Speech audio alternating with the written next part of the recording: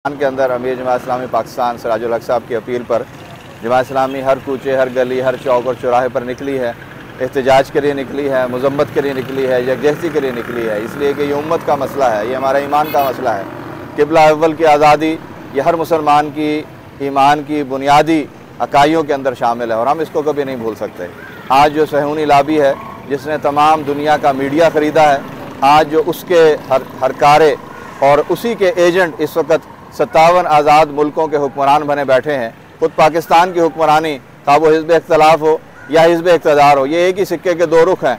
इनको अपने मफादात से जान नहीं छुटती है। आज पाकिस्तान की आवाम तबका गलियों में रोल रहा है। दो वक्त की रोटी लेना मोहताज, उसका मोहताज कर दिया है। लिहाजा उम्मत का ये दर्द जमा इस्लामी समझती है। हमारे ईमान का तकाजा है, इसलिए हम निकले हैं। पाकिस्तान के अंदर भी मुख्तर तबके को भी अकवा मुतहदा को भी और दुनिया की जो इंटरनेशनल लॉबीज़ हैं उन तक भी ये मैसेज देना चाहते हैं कि मुसलमान बेदार है। जब भी कभी कोई ऐसी कोशिश होगी, हम उठेंगे, मजम्मत करेंगे और हर मौका मिलेगा, खुद अपने हाथों से इनको निस्तो नाबूद करेंगे और अपने किलब अवल की आज़ादी पर कोई समझौता हम नहीं कर सकते। बहुत शुक्रिया।